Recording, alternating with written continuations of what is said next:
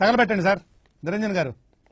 ఎందుకో తెలీదు కానీ నిర్మాతలు తమ సినిమా కలెక్షన్ల వివరాలను ఉన్నది ఉన్నట్టుగా బయటపెట్టారు. తమ సినిమా చాలా గొప్పదని బాక్సాఫీస్ వద్ద తాండవం చేస్తోందని జనాలను నమ్మించడం కోసం తప్పుడు లెక్కలు మాత్రమే చెప్తుంటారు. వాస్తవంగా వచ్చిన కలెక్షన్ల లెక్కల కన్నా కొంచెం ఎక్కువగానే ఫిగర్స్ చూపించి జనాలను బురిడి కొట్టిస్తుంటారు. ముఖ్యంగా స్టార్ హీరోల సినిమాల విషయంలో నిర్మాతలు ఇలాంటి బిల్డప్పులకు పోతుంటారు. సినిమాకు ఫ్లాప్ టాక్ వచ్చినా థియేటర్ల వద్ద జనాలు పెద్దగా లేకపోయినా కలెక్షన్లు మాత్రం జోరుగా వస్తున్నాయంటూ దొంగ ప్రచారాలు చేస్తుంటారు. తమ సినిమా కలెక్షన్ల పరంగా రికార్డుల సునామీ సృష్టిస్తోందంటూ సొంత డబ్బా వాయించేసుకుంటారు. ఇప్పుడు తమిళ హీరో విజయ్ నటించిన లియో సినిమా విషయంలో కూడా అదే జరుగుతోందని సమాచారం.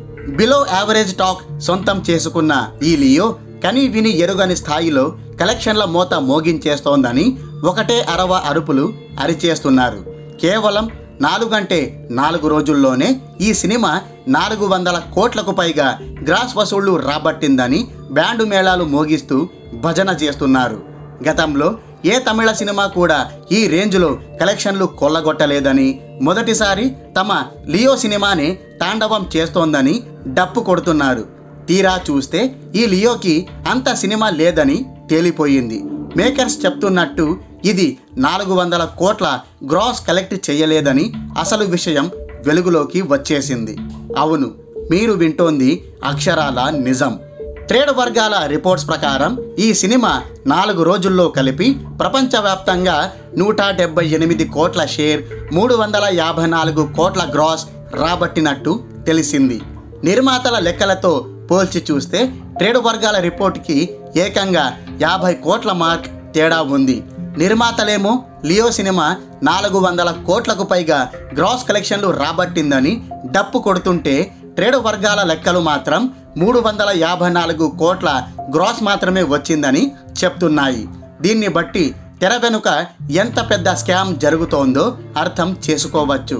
ప్రేక్షకులను మభ్య పెట్టేందుకు లియో నిర్మాతలు వీలైనంత వరకు ఫేక్ గేమ్ ఆడే ప్రయత్నం చేస్తున్నారు.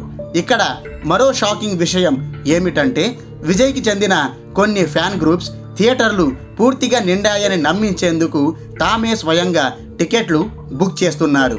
అంటే ఏవైనా థియేటర్లు కొంచెం ఖాళీగా ఉన్నాయని తెలిస్తే చాలు. అక్కడికి విజయ్ ఫ్యాన్స్ చేరుకొని టికెట్లన్నీ కొనుగోలు చేసి తమకు తెలిసిన వాళ్ళనే థియేటర్లలోకి పంపి అది హౌస్ఫుల్ అయ్యిందని పక్కా డ్రామాలు ఆడుతున్నట్టు తెర మీదకు వచ్చింది.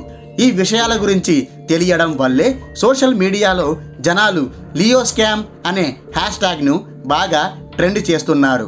కంటెంట్ లేనప్పుడే ప్రచారం పీక్స్లో ఉంటుందని ఇప్పుడు లియో సినిమా వాళ్ళు కూడా అదే స్ట్రాటజీని ఫాలో అవుతున్నారని సెటైర్లు వేస్తున్నారు.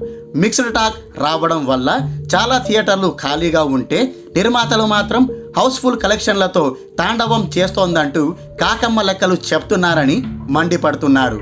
విజయ్ని తమిళంలో నంబర్ వన్ హీరోగా చూపించడం కోసమే ఈ దొంగ నాటకాలకు పాల్పడుతున్నారని నిప్పులు చెరుగుతున్నారు.